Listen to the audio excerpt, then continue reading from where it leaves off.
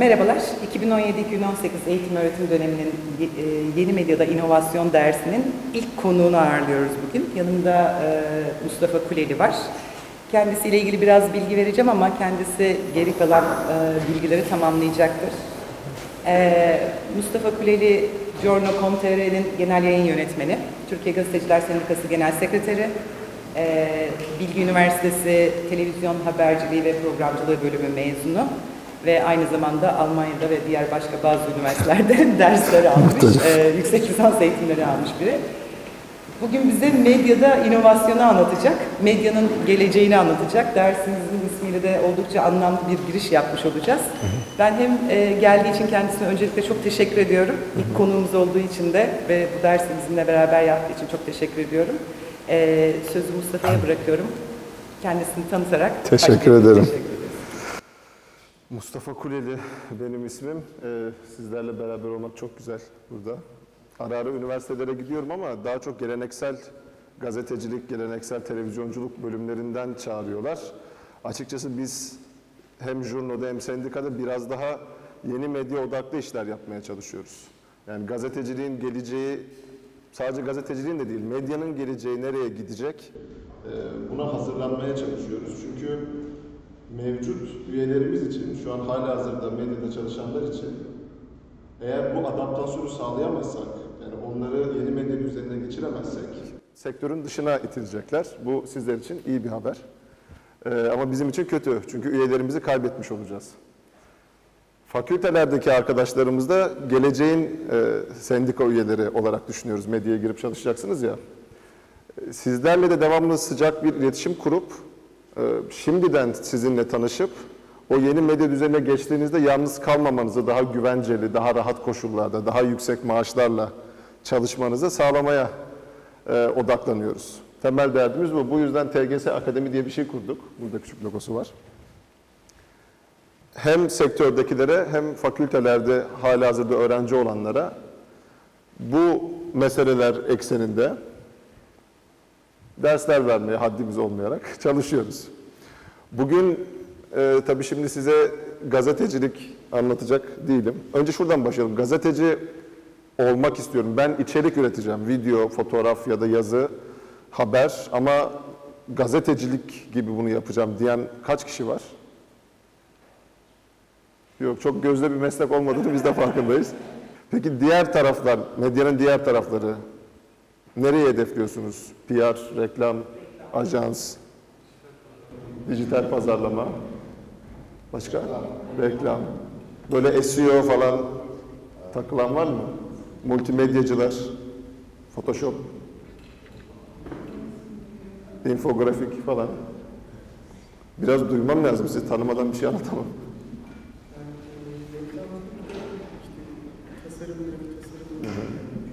Reklamcılık. Aslında hocalarımız söylüyordur zaten bunların hepsi iç içe geçmiş durumda. Yani artık ben sadece 5N 1K bilirim, işte düz piramit, ters piramit, haber yazarım ve olur diye bir şey zaten yok.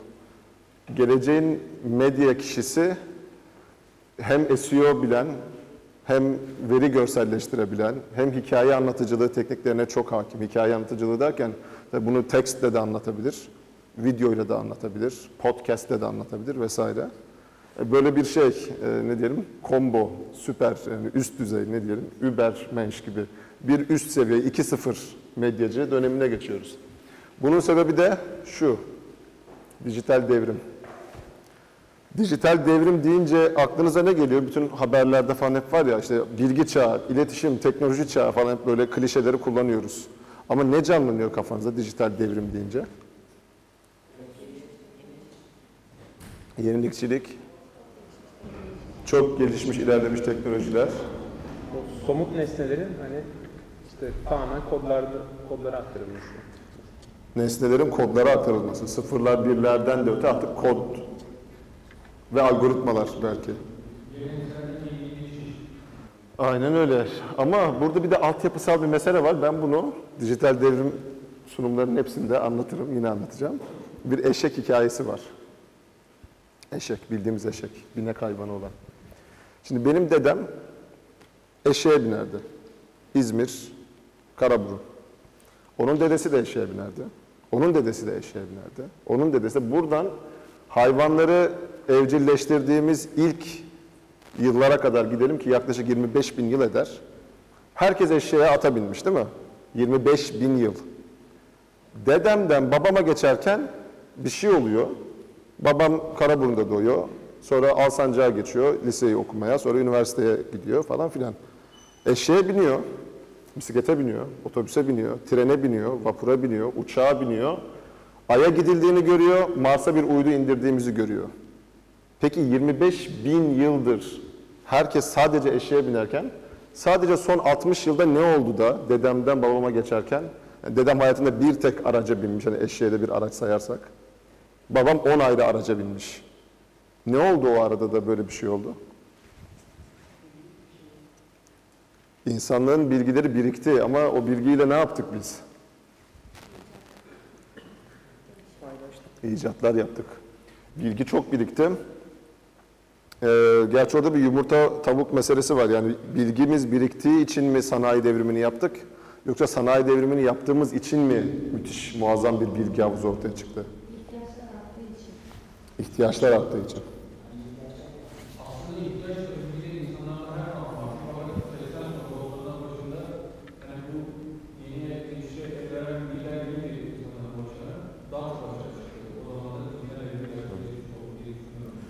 Muhtemelen ikisi de doğru.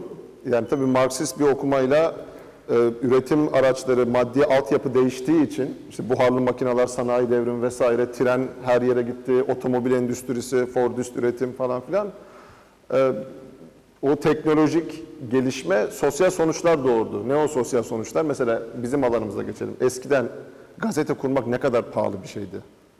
Yani bir matbaan olacak, efendim e, dağıtım ağın olacak, burada gazete yapacaksın, Hakkari Yüksekova'ya kadar o gazete gidecek falan muazzam pahalı.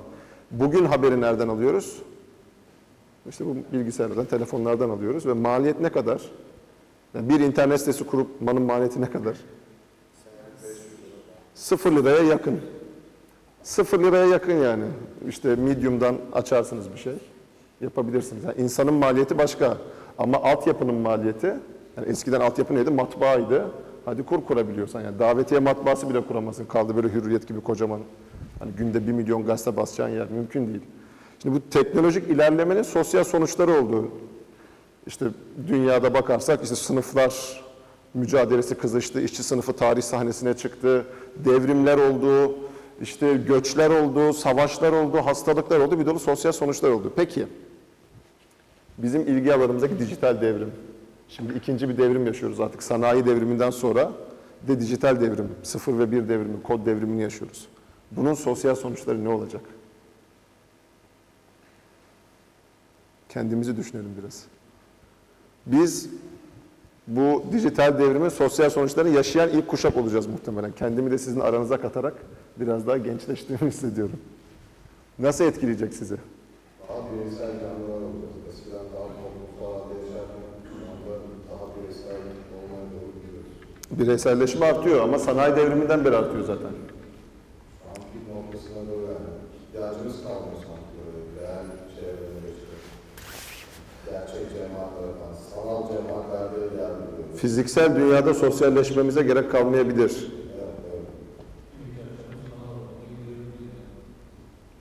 Tüm olmasa da büyük kısmını.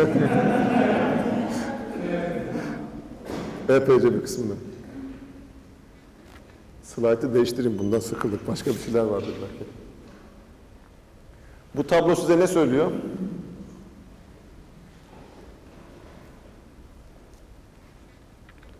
Yani bir icat yapılıyor.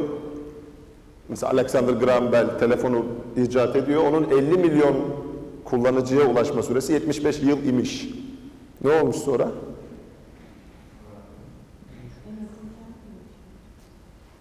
Bir eğilim var burada, bir trend var. Gitgide kısalıyor. Kısalıyor süre. Yeni bir icat yaptı. Yani şöyle düşünün, siz hatırlamazsınız. Eski Türkiye'de ve dünyada şöyle acılar vardı. Mesela cep telefonu ilk çıktı klişe bir cümle. Herkes dedi ki ya benim cep telefonuna ne ihtiyacım olur ya bunu ancak iş adamları kullanır. Dedi ve bir sene sonra herkesin cebinde telefon vardı. Herkesin. İşte internet 4 yılda Tabii ki bugünkü anlamdaki internetten bahsediyorum. Yani şey, Soğuk Savaş sonrası World Wide Web interneti 4 yılda 50 milyon kişiye ulaşmış. Cep telefonu, mesela Snapchat'i düşünün. Hani ilk çıktığında özellikle benim yaş grubum şey ya Snapchat ya ne yapacağım falan yani. Bunda ergenler falan takılır falan dedi ve hani bir ay sonra herkes de Snapchat falan. Bunun gibi. Hızlanıyor. Çok hızlanıyor.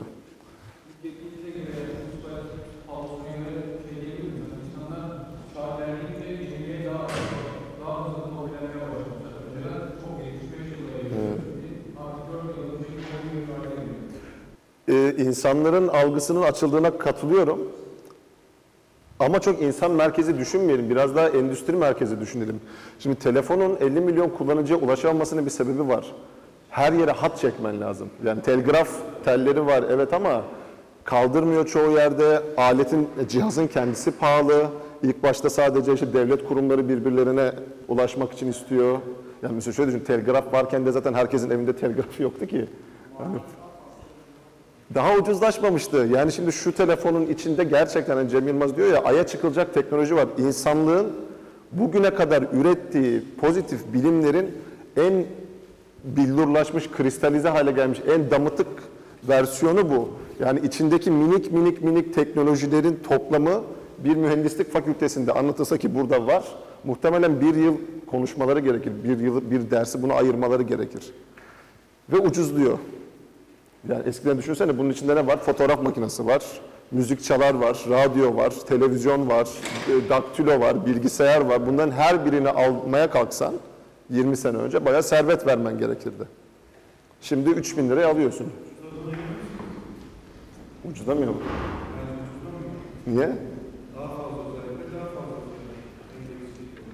Tamam ama aldığın özellik sayısı artıyor. Şimdi eskiden bir tane fotoğraf makinesi aldın, bir tane müzik çalar aldın, bir tane radyo aldın, bir tane televizyon aldın, bir tane daktilo aldın. Ne kadar ederdi? Şimdi bir tek bunu alıp onların hepsini yapıyorsun içinde. Tek tek almıyorsun yani. Hepsini birleştirdi. İnsan odaklı düşünmeye çok eğilimliyiz, meyyaliz, teşneyiz. Ama aslında buraya gelirken Zeynep Hoca ile konuştuk. İletişimciler konuşur, mühendisler yapar arkadaşlar. Bugün bu noktaya geldiysek bu mühendisler sayesinde, fizikçiler sayesinde, bilimciler sayesinde. Biz de değersiz bir iş yapmıyoruz tabii ki. Biz hikaye anlatıcısıyız. Biz olmasaydık insanlık tarihi olmayacaktı. Bu aralar çok satan kitap var. Ee, Herkese tavsiye ederim. Bir kısmınız okumuştur zaten. Bu Hariri'nin e, Homo Sapiens kitabı. Daha ilk sayfasında şunu söylüyor. İşte bundan milyonlarca yıl önce büyük bir patlama oldu. İşte Big Bang klasik. Ee, zaman, mekan ve uzay ortaya çıktı. Bunları inceleyen şeye fizik deniyor. Tamam. Zaten bir numaradır fizik. Yani zaten o yüzden şey, şey diyeyim size. Dünyanın en önemli bilim insanı kimdir?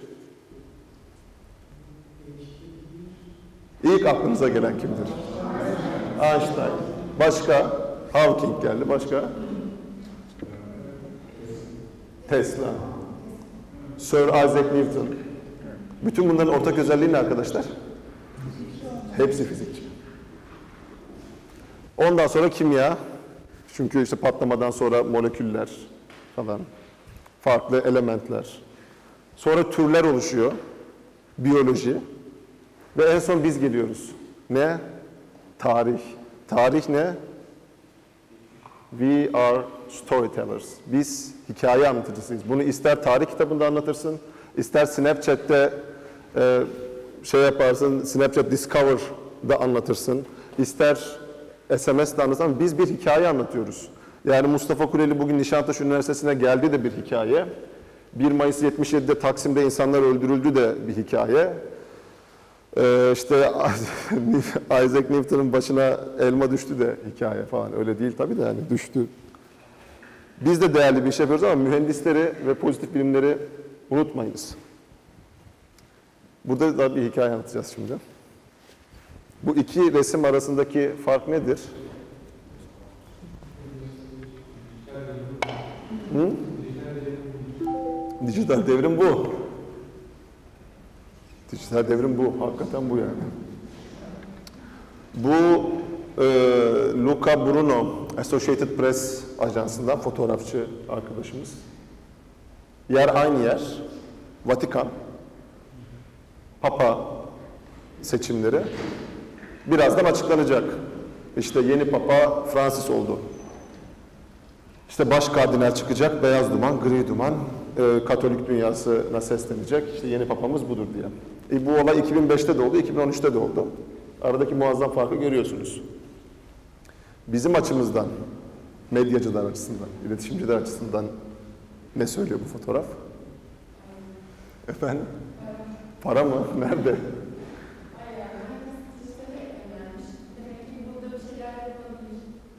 Şüphesiz. Burada bir tane telefon var ama o şey tuşlu falan görüyor musunuz?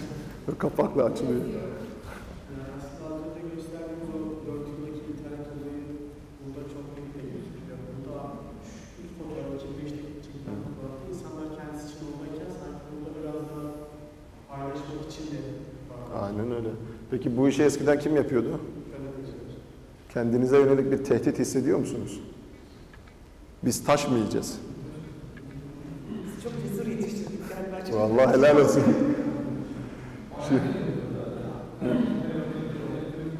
Artık herkes gazeteci. Ama ne kadar? Ne kadar doğru? Herkesin gazeteci olması ne kadar doğru? Ne kadar etik? Ne?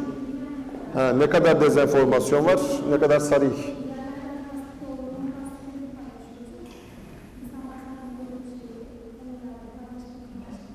Öyle mi?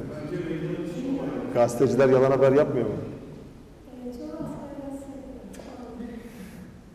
Söylediğiniz çok ciddi bir şey tartışma gazeteciler arasında. Ee, tabii bu bir şey reaksiyon.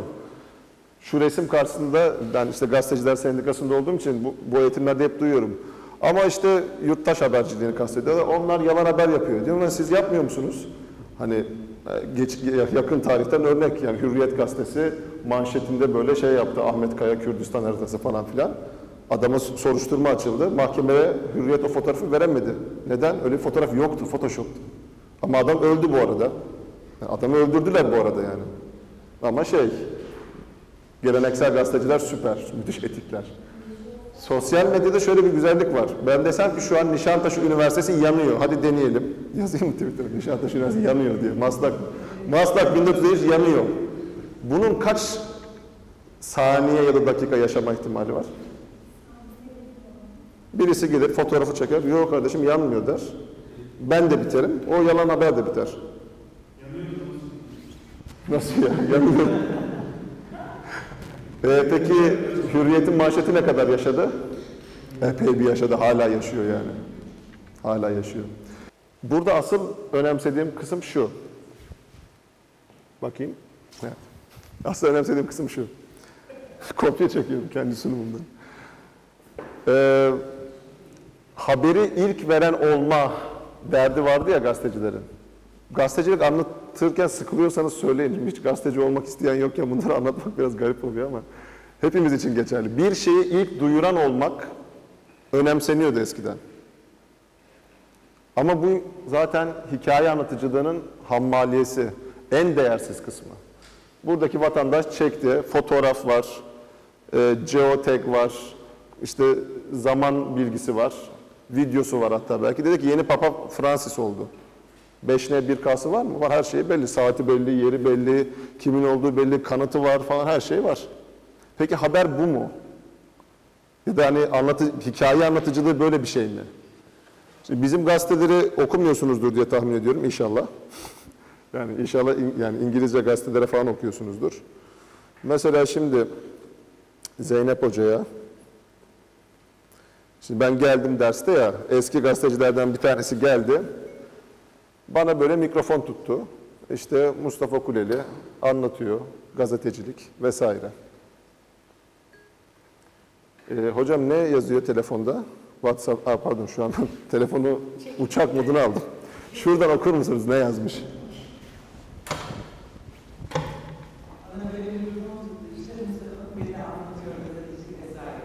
Şimdi bunu Erdoğan'a doğru tutarsanız ve yani hepinizin kullandığı şey bu WhatsApp. İşte iOS cihazlarda var, Android'lerde de vardır herhalde. Mikrofona basıyorsun.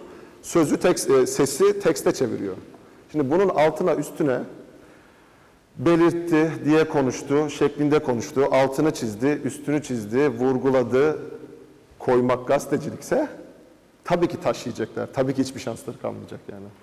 Tabii ki öyle bir medya düzeni olmayacak artık. Peki ne olacak? Ee, bütün medyacılar için geçerli bu. Bir üst level'a çıkmamız lazım. Bunlardan farklılaşmamız lazım. Bunlar için ham maliyesini yine yapsınlar, soğukta beklesinler bir tane fotoğraf ve işte bir bilgi için.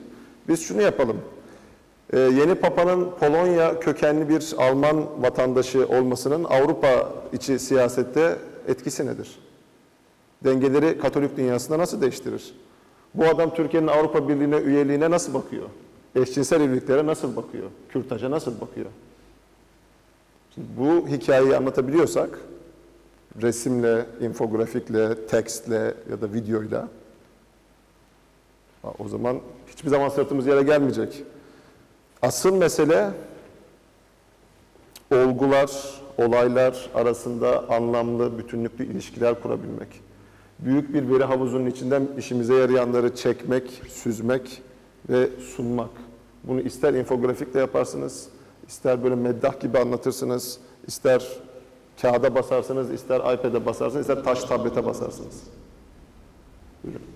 Bu dediğiniz şeyleri mesela SEO çerçeveleri gibi mi? İnsanlar yani 4 sene içinde yalanlanamıyor. Önce asıl lazım. Benim olması için değil. Burada uygun keywordleri altına içerikleri vermeden sizin bahsettiklerinizi ekleyeceğiz. Zaten e, biliyorsunuz o podcast dediğim şey yok. Bizden önce o başlarına yayınlıyor. İçeride biz koyduğumuz zaman içine zaten sizin bu Şüphesiz öyle. Dolayısıyla ilk veren olacağız diye artık kasmanın alemi yok. İlk veren her zaman algoritmalar olacak. İlk veren her zaman robotlar olacak. Ama robotların yapamayacağı şey, işte yeni Papa'nın Kato- e, Polonya doğumlu bir Alman vatandaşı olmasının Katolik dünyasına siyasi etkileri ne olacak sorusu. Çok gazetecilik örneği olduğu farkındayım ama bütün işlerde böyle yani reklamcılıkta da ee, işte SEO tabanlı pazarlama, marketing işlerinde de bir süre sonra algoritmalar en temeldeki basic işleri, ham maliyesini yapacak, bizi öne çıkartacak olan onların yapamayacağı daha üst düzey ilişkiler, daha duygusal ilişkiler, ee, nasıl diyeyim daha analitik ilişkiler. Buralar. Ve bütün medya dalları için geçerli müthiş bir genel kültür olmadıktan sonra yani algoritmalarda o da yok biliyorsunuz. Yani işte Katolik dünyasının kodlarını bilmiyor algoritma. Nereden bilsin?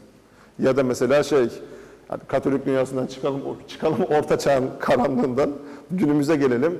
Eğer Galatasaray sitesi yaptıysak bir tane ya da epi yaptıysak ki mesela yok. Bence biri sırf Galatasaray haberi yapan bir mecra kursa paraya para demez. Yani Dijitürk'ünden tıraş bıçağına, Nike'tan işte ne bileyim Türk Telekom'a herkes reklam verir. Ama Galatasaray taraftarın kodlarını, kültürünü, alışkanlıklarını, efsanelerini, dilini, ortak simgelerini algoritma bilmiyor. Web aslan. Bakacağım. İyi mi acaba? Yani hani ne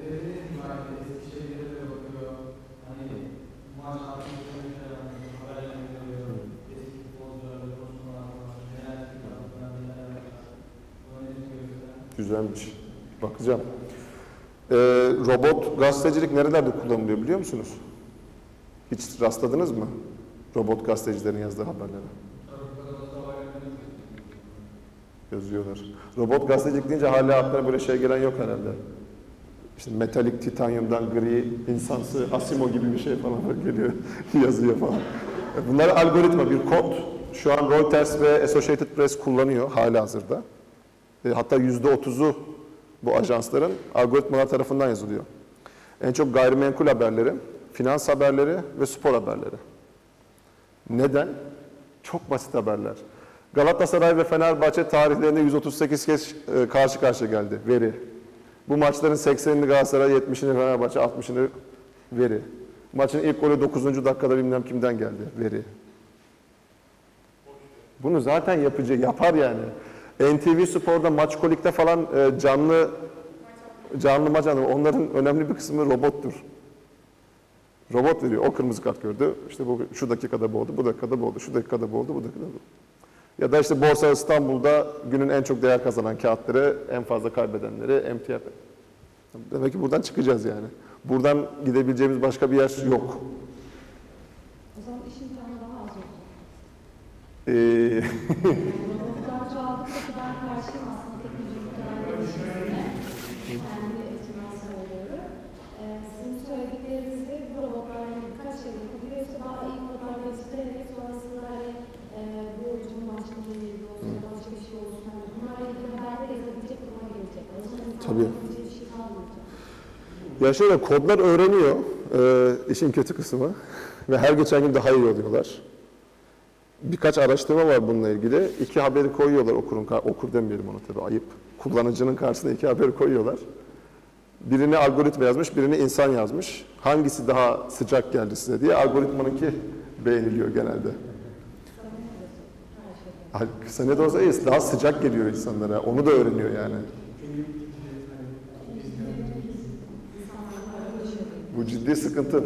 Algoritmalar devamlı daha ileri gidecek. Yani o yüzden biz yerimizde sayamayız zaten yani. Büyük dert, farkındayım. Her yerde bu arada. Mesela şey, grafik reklam işleri konuşuluyor. Burada da o alana gitmek isteyen çok var. Gerçekten mesela Photoshop şu diye bir şey vardı ajanslarda. Şu an kal, kaldı mı biliyor musunuz hiç? Bizim bir arkadaş var Mehmet Şafak Sarı belki biliyorsunuzdur Korsan Parti'den. O da reklam ajans işleri yapıyor. Canva diye bir şey, Canva mıydı, Canvas mıydı? Canva diye bir şey var. Canva değil mi? Önünde bilgisayar açık olanlar bakabilir. Bir online uygulama. Aynen. Daha da gelişecek üstelik. Vallahi diyor ki yani hazır template'ler var orada. Zeminler, fontlar, hangisi hangisine gider vesaire. Onlar rate edilmiş. Popülerler, az popülerler falan. Her şey bedava. Bütün işleri diyor orada yapıyorum diyor hazır template'ler üzerinden ve bayağı ajans yani herif para kazanıyor. Nerede kaldı bizim Photoshop bilgimiz? Hani öğrenmiştik, bilgi adama gitmiştik, kurs almıştık, o kadar para vermiştik. Bunların hepsi araç. Yani Photoshop bilmek de bir araç, haber yazmayı bilmek de bir araç. 10 parmak F, F klavye kullanmak da bir araç. Bunlar vesile sadece. Asıl olan biz neyiz ve ne anlatıyoruz? Biz neyiz, ne yapıyoruz, ne üretiyoruz? Onu üretmenin yolu söylediğim gibi taş tablet de olabilir, cam tablet de olabilir, her şey olabilir. Kendimize bakacağız. Teknolojinin sonu olduğuna inanıyor musunuz? Teknolojinin sonu olduğuna inanıyor muyum? Yok, inanmıyorum yani. Ben çok pozitivistim. Önceden e, marketlerde mesela reklam çalışıyordu. Şimdi artık Ne kadar ilkel. Böyle gittikçe işsizlik oranının artmasıyla birlikte insanların sosyalleşmesinin de gittiğini düşünüyorum.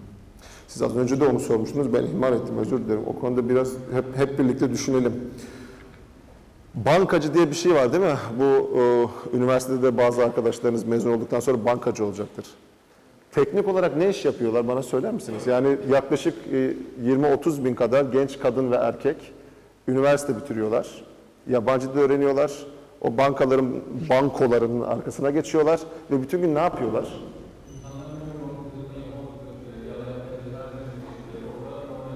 Daha teknik düşünelim. Yaptıkları şu, para al, para ver, imza at, para al, para ver, imza at, para al, para ver, imza at. Bu değil mi? Bu gerçek bir iş mi sizce? Bir iş mi yapmış oluyorlar yani? Para al, para ver, imza at, para al, para ver, imza at. Bu iş mi? O da gerekli mi? Yani adam etten yapıyorsa, kadın ATM'den o işi yapıyorsa gerekli mi gerçekten? Peki ne yapsınlar peki? Bunlar şimdi teknoloji geliştikçe ben bankayla sadece muhatap olacaksam ileride çünkü onların e, yapacaklarını da teknoloji olarak gelişecek yapacak. Tabii ki. E, bu sefer onlar ne okudular ve e, nasıl para kazanacak? Yani bu kadar teknoloji gelişirken devlet o zaman evde oturun size para verelim mi diyecek? Tartışılan bir şey bu. Kimse unutmasa söyleyeceğini, bu mesela İsviçre'de tartışıldı. Ee, minimum yurttaşlık maaşı diye bir şeyi referanduma götürdüler. Her İsviçreli çalışsın ya da çalışmasın, e, yanılmıyorsam 1400 euroydu. 1400 euro temel maaş alsın diye referandum yaptılar. Çok küçük bir farkla %49'a 51 bitti. Almasıncılar kazandı. İsveç şu anda tartışıyor. Parayla iş yapmanın ilişkisi bir süre sonra kopacaktır arkadaşlar. Bu e, sadece son 100 yılın meselesi. Sovyetler Birliği'nde insanlar iş yapmıyor muydu? Yapıyordu. Hatta uzaya gittiler. Hatta uzaya ilk giden onlar oldu. Para mı alıyorlardı? Parayla işi birbirine bağlamamız sadece son 100 yılın hikayesidir. İş yapmak birkaç e, birkaç yüz bin yıldır var. Hani Neandertallerde, Homo sapiens'ten beri biz iş yapıyoruz. İş yapmamız karşılığı para verilmesi son 100-150 yılın hikayesi. Bu kadar büyütmeyelim yani. İnsanlık bunları aşacaktır bir vadede. Yo yani para şöyle düşünün yani işte bu bu bu teknolojiyi gerçekleştirdik ama değişim değerini hala parayla yapıyoruz. Parayı kim buldu? Lidyalılar. 7000 yıl önce. Bu kadar her şeyi yenilediğimiz bir dünyada değişim değerini 7000 liralık bir icatla hala gerçekleştiriyoruz. Bir gariplik yok mu yani sizce burada? Para yokken de hayat vardı. Hayır tam doğru. Ben de paraya karşı insanım belki ama... e, Niye canım karşılamıyor? Hayır, yani Verirlerse alırız yani. Hani para olsun olmasaydı keşke. Ama e, şöyle bir şey var. Bu teknolojiler geliştikçe bunları alabilme imkanımızı da kazandığımız para sayesinde yapıyoruz. Tamam internet hani sonradan bedava olacak. Sadece internette sınırı kalmıyor bazı şeyler. Markete gidip de bir şey alacaksın, parasını alamıyorsun. Şimdi Yani bizim parayı terk etmemiz için önce paranın yerine koyabilecek bir şey olması lazım. Yani değişim değerine, yeni değişim değerine ihtiyacımız var. Önce bunun bulunması lazım. Bunu bulunmadan paraya ihtiyacımız olacak biraz zaman olacak. Ya da şöyle bir şey olabilir. Yani şu an insanlar çalışıyor e, ama belki ileride insanların bir robot partnerleri olacaktır. Onlar çalışacaktır. Onların yerine biz iş alacağız. Yani parayı biz alacağız. işi Bu onlar yapacak. Çok güzel bir nokta. Size bir sorum var. 3D printerlar çok gelişiyor. Bu okulda da var, gördüm. Üretimin bu kadar arttığı, otomasyonun bu kadar arttığı, 3D printerların artık bırakın işte böyle masadaki e, plastik biblo üretmeyi, köprüler, otoyollar inşa ettiği günlerdeyiz. İnşa ettiği zamanlardayız.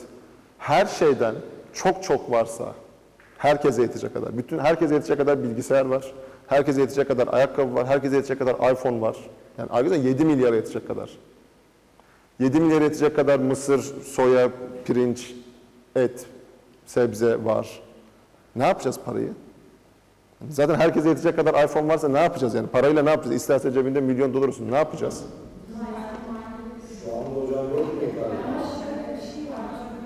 İnsanlık tarihinin en tok, en sağlıklı ve en uzun ömürlü yıllarını yaşıyor arkadaşlar. Bunu söylediğim zaman herkes diyor ama Afrika, ama açlık, ama hastalıklar, ama AIDS, ama kanser. Büyük tarihimize baktığınız zaman insanlık en uzun ömürlü, en sağlıklı ve en tok günlerini yaşıyor. Afrika dahil. Hep artıyor, hep artıyor, hep artıyor. Bolluk, bolluk içindeyiz.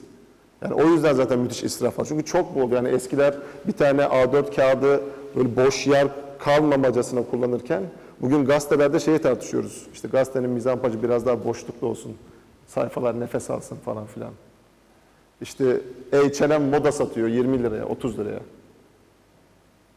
Satmıyor mu? H&M, Seon'da falan. Moda, tasarım ürünü satıyor, kıyafet. 30 lira, 50 lira falan. Nasıl oluyor bu? Çünkü çok fazla üretebiliyoruz ve çok ucuza üretebiliyoruz artık.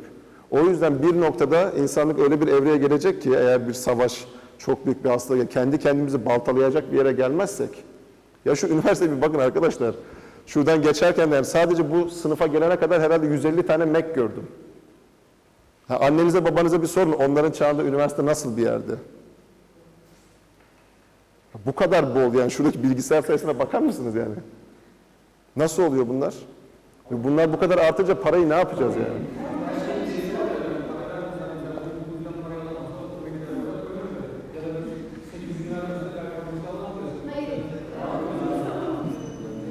Buyurun.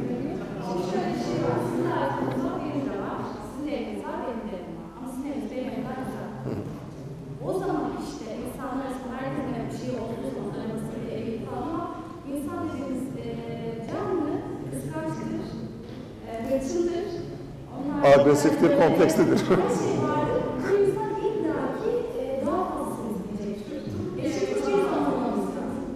Yok ben eşitlikten bahsetmedim ki.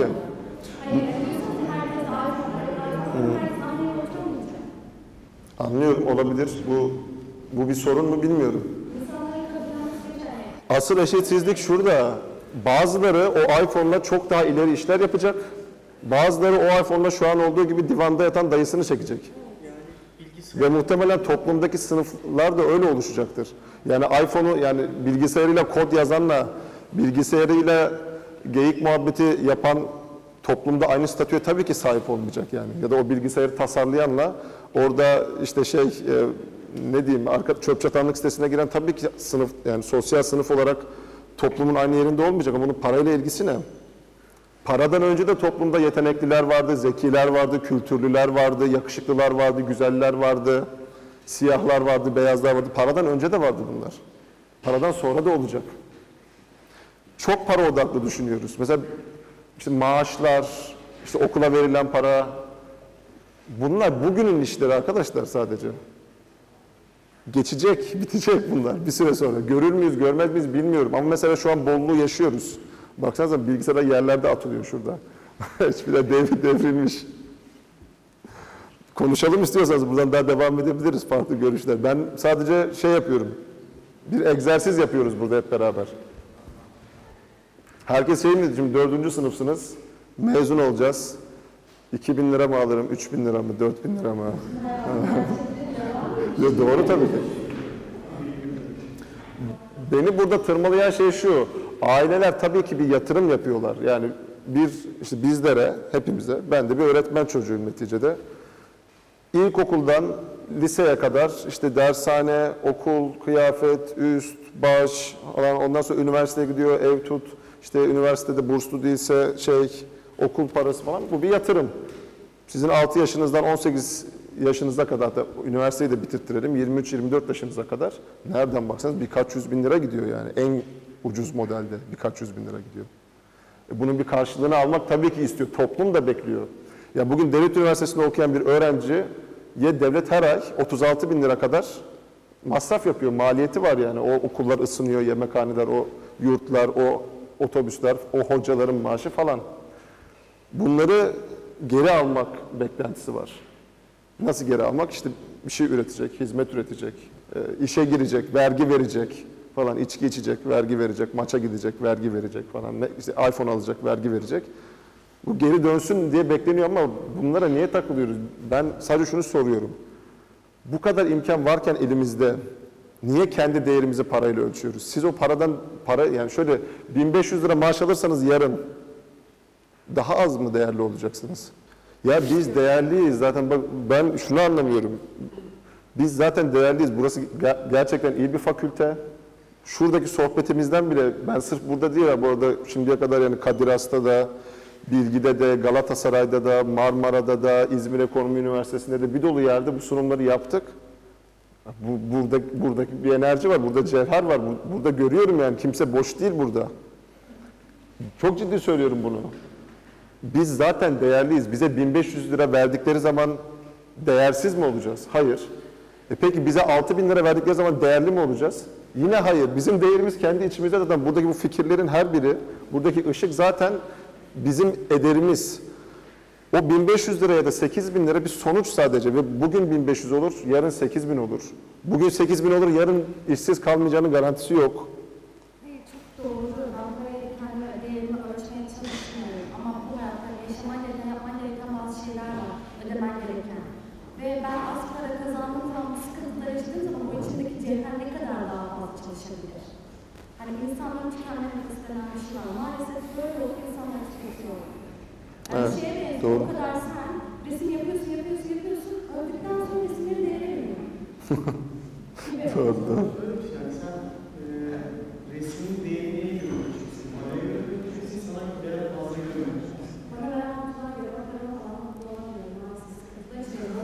Bunlar çok zor sorular ve haklı sorular. Kesinlikle. Buyurun.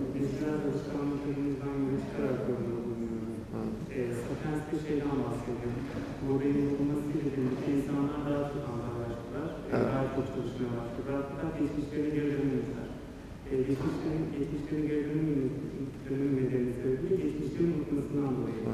Tarı bulunmadan önce de yaşanlandı. Vardı tabii. Ve tarı bulunmasıyla birlikte o geçmiş köşesi unutuldu.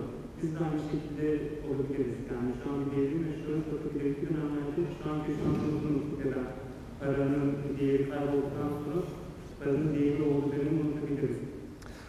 Muhtemelen unutacağız. Yok, o, e, o zaman yaşanmaz. Arkadaşlar çok ilginç bir şey söyleyeceğim size. Hiç Rusya'ya falan gideniniz oldu mu? Yani Rusya derken sadece şey değil, e, Moskova falan değil. Rusya'nın taşrasını düşünün. Hani daha bugünkü kapitalist ilişkilerin girmediği işte yerler. Hiç gittiniz mi? Yani St. Petersburg, yani Leningrad ve Moskova dışında. Yaşlılarla konuşun. Ben Doğu Almanya'da üniversite okudum biraz. İşte post sosyalizm diye bir e, disiplin var sosyolojide. Şununla ilgileniyor. So- sosyalizm çöktükten sonra Doğu Avrupa toplumları nasıl dönüştü? Yaşlılarla konuşun. Parayla hiç alakaları yok. Gündelik hayatlarında para diye bir şey yok. Çünkü hani 80 yıl yaşamış teyze hiç parayla işi olmamış ki. Hiç olmamış. Çalışmış, üretmiş, gelmiş, almış, yemiş, eve para vermemiş, doğalgaza vermemiş, telefona vermemiş falan filan. Kadın anlamıyor. Yani gün, bugünün Almanya'sında tabii ki işte çok acımasız her şey. Her şey paraya dayandığı için. Kadın adapte olamıyor. Çünkü hiç yaşamamış. Bir insan ömrü geçtiğinde bile bütün bu ilişkiler değişebiliyor. Biz içine doğduğumuz için paranın çok küçük yaşlarında zannediyoruz ki hep sonsuza kadar bu böyle gidecek. Gitmeyecek ya. Sadece bir döneminde var insanlığın, bir sonraki döneminde yani ihtiyacımız kalmayan bütün icatlarımızı çöpe atmıyor muyuz? Walkman'ini taşıyan var mı hala yanında? Kasetli Walkman. Hatırlıyor musunuz? Var mıydı sizde? Kasetli Walkman hala taşıyan var mı? Yok. Çünkü ihtiyacımız yok. Bende var bir tane hocam vereyim.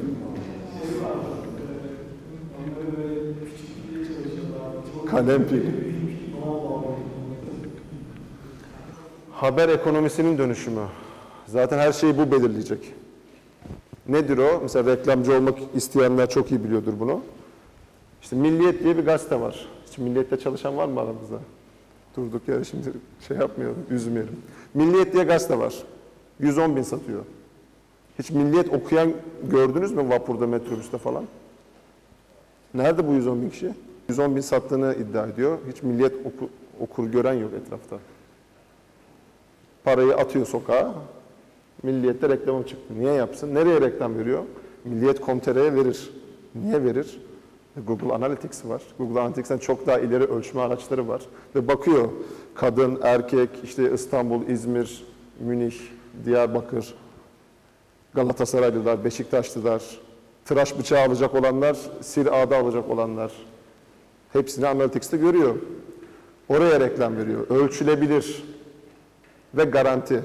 Yani sen sadece o işte tıraş bıçağı reklamına tıkladığın zaman para veriyorsun. Milliyette ise yani tuvalette yere mi serildi, gazeteyle cam mı silindi, üzerinde simit peynir mi yani ne olduğu belli değil yani gazetenin görüldü görülmediği. Bu bütün ya da şey televizyon için de geçerli. Şimdi televizyon reklamı ölçülüyor değil mi? Hatta Dijitürk falan bazı anlarda duyduğum kadarıyla iki dakikalık aralıklarla ölçüyormuş. Yani artık dizinin hangi sahnesinin daha çok izlendiği bile. Ama orada bile bir bilinmezlik var. Neden? Televizyon açıkken abla orada fasulyemi ayıklıyor. Çocuk yanlışlıkla mı bastı? Ama geçen senenin en büyük dizi olayı neydi arkadaşlar? Fi değil mi? Güzel kızlar, yakışıklı olanlar. Da mesele o değil. Fi neden çok büyük olaydı? Online dizi. Onu izlemek için senin login olman lazım. Ve neredeyse yüzde yüz eminsin o an bilgisayar başında, telefon başında ya da Apple TV başında olduğuna neredeyse eminsin. Çünkü sen gidip onu şey yapıyorsun, izliyorsun. Öyle layet dayını zaten açık değil. Ve Vodafone o yüzden sponsor oldu. Ve zaten içinde o yüzden bir dolu gizli reklam, yani gizli reklam, ürün yerleştirme vardı. Bütün olay buraya dönüyor. Haber ekonomisi dönüşüyor. İster reklamcı olalım, ister gazeteci, ister medya satın almacı, ister pazarlamacı. Ölçülebilir verilerle gelin diyor patronlar. Ölçülebilir verilerle gelin. Ben Halep'te 10 arşın atlıyorum değil yani. Yani ölçelim ne kadar atlıyorsun ya da içeriğin ne kadar izleniyor, okunuyor. Bu tanım çok önemli. Ee, yeni medya ile ilgili bir dolu tanım denemesi yapıldı. Hocalarınız zaten anlatmıştır da ben en çok bunu seviyorum. Bunun bana söylediği mesaj şu. İşte yeni medya bölümünden mezun oldum. Ben artık yeni medyacıyım falan ya da işte TGS Akademi'de ders yaptık. Yeni medya uzmanı oldum. Hürriyet İK'da, Hürriyet İK ne ya? LinkedIn'de işte yeni medya uzmanı arıyorlardı. Başvurdum. Aha da diplomam, sertifikam. Böyle bir şey değil. Çünkü zaten akış halinde olmakta olan bir şey ya. Ongoing process. Gidiyor zaten. Hani dursa tanımlayacağım yani işte ne bu kahve bardağı çünkü burada duruyor yani bir dönüşüm halinde değil yani bin yıl daha bıraksak biraz molekül kaybeder ama hala kahve bardağıdır. Geçen iki sene önce Snapchat yoktu ya. Şimdi giriyorsun Snapchat Discover'da yani BuzzFeed'den işte ne bileyim Washington Post'ta herkes Snapchat Discover'a dikey içerik üretmeye çalışıyor. Reklam verenler o dikey içeriğe nasıl reklam sokarız diye düşünüyor. Bizim için o yüzden önemli ve yeni medyacılık bence şöyle bir şey. Devamlı merak etmek, devamlı tecessüs, ilgi. Bunun sürekli olması. Yani siz 90'lardan şimdi 90'lardan dolayısıyla bunun bir bitiş noktası yok, bir uzmanlığı yok. Apple işte geçen ay event yaptı değil mi? Çok güzel yeni ürünlerini tanıttı. iPhone 8, iPhone 10. İzlediniz mi? Heyecanlandınız mı? Niye? Her sene yapıyorlar. Her sene yapmıyor. Her sene iki tane yapıyoruz. Ha işte. Siz nasıl bakıyorsunuz? Yani materyal var evde. Bir de benim evde olan materyal var. Bizimki ne kadar eskidi diye mi bakıyoruz? Yani, hayır yani yeni ne var aslında? Öyle yeni Aynen öyle. yeni ne var? Daha fazla neyi kurcalıyor? Aynen öyle. Yani daha fazla ne kurcalıyor? Yeni medyacılık bence şöyle bir şey. Apple Watch çıktı mı abi? Çıktı. Açtık mı, izledik mi? Babalar geldi anlattı. Telefon şöyle, böyle, böyle özellikleri var. Çok güzel. Biz bunun içine haberi, grafiği, içeriği, eğlenceyi, app'i nasıl sokacağız? Yoksa alet çok güzelmiş, 3000 liraymış, kolumda da iyi durdu, altın kayışı var. Bize ne?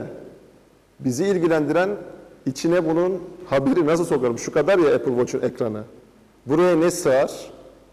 Hangi app olur? Sesle kontrol geldiyse mesela acaba bunu haber yapabilir miyiz? Mesela Quartz diye bir tane app var. Muhakkak indirin bence iPhone için. Ee, Android'de var mı bilmiyorum. iOS'ta var. Quartz biliyorsunuz bir site. App yapmışlar. Chatbot. Konuşuyorsun. O sana anlatıyor haberleri. Bugün Manchester United'la ilgili bana ne anlatacaksın? Quartz. O da diyor ki böyle böyle şeyler oldu. Ama haberi sana linkini dayayıp geçmiyor. Haberi anlatıyor chatbot. Chat yapıyorsunuz haber apiyle. Quartz indirip bakınız. Böyle bir şey. Biz her baktığımız yerde yeni ne yapabiliriz, içerikleri buraya nasıl sokabiliriz ona bakacağız. Tüketim yani gözümüze güzel görünüyor tabii elma. Bunlar alüminyumdan yapılır hep güzel şey. Tıraşlanmış alüminyum dokusu çok güzeldir ama bizim işimiz o değil çünkü biz malzeme mühendisi değiliz yani. Bunları zaten biliyorsunuz. Süremiz daralmış o yüzden. Ee, burada birkaç şey önemli. Robotlaşmayı konuştuk. Otomasyon çok arttığı için artık robotlaşmaya biraz girmezsek, hemhal olmazsak işimiz çok zor.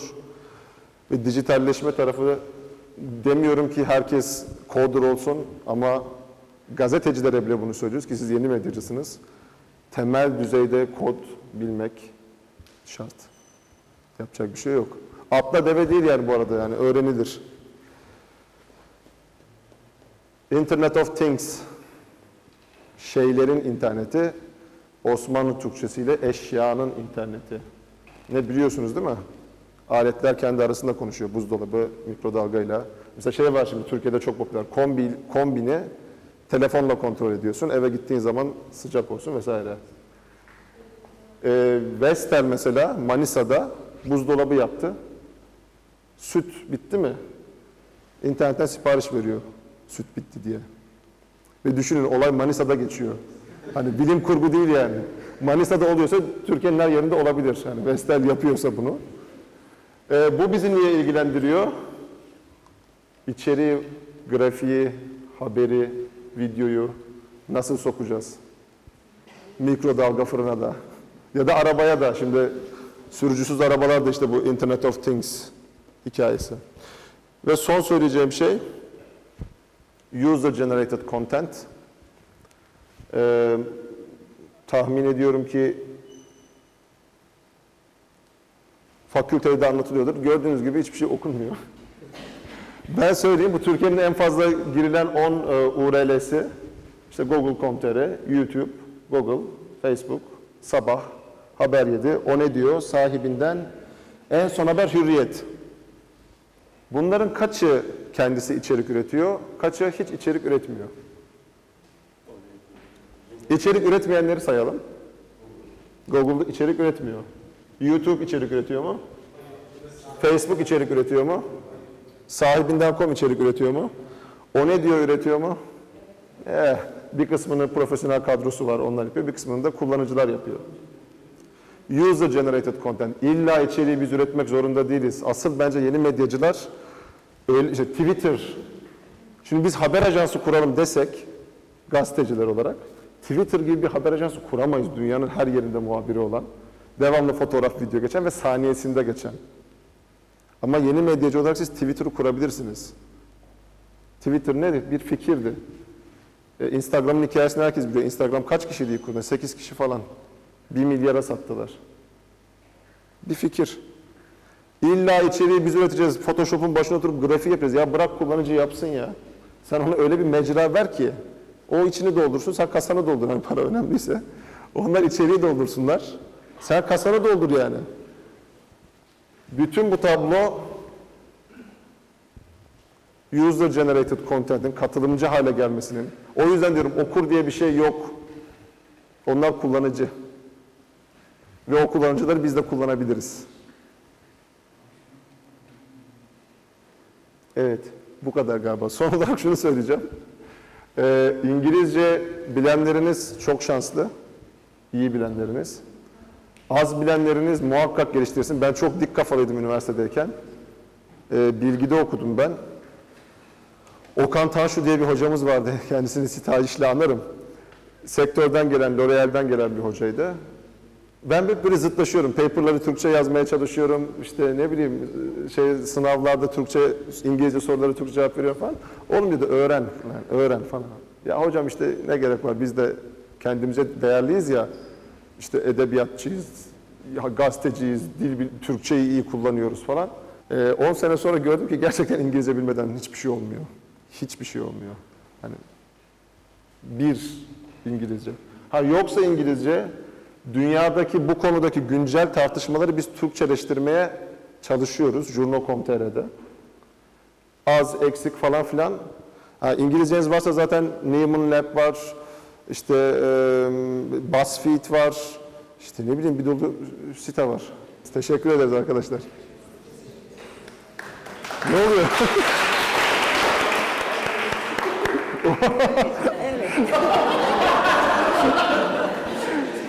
Hocam, Ben çok teşekkür ediyoruz. fotoğraf Buyurunuz. Bunu saklayacağım. İlk defa hayatımda plaket alıyorum. Gerçekten çok ciddi söylüyorum.